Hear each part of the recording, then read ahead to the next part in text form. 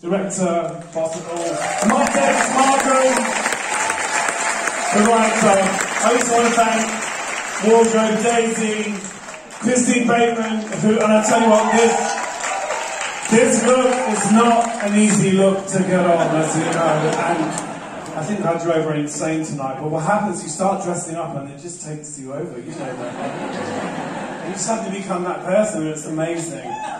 So, yeah, I think next stop, we've got to take this show on the road, basically.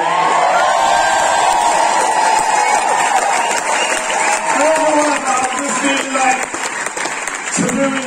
could just be a good look as well, you know. It's just not shit on the road, but the show is a, a celebration of otherness, you know, and that doesn't matter what. Because when you get, get down to it, we're all other.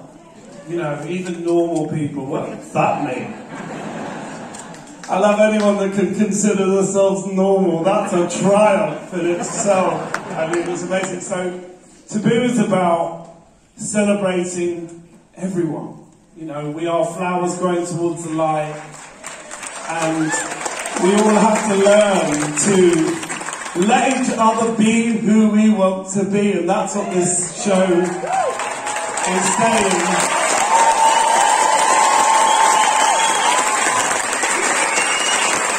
And you know what? If you have to think about it too much, you're just not doing it. Just let it happen because there's nothing better in the world than being who you truly want to be.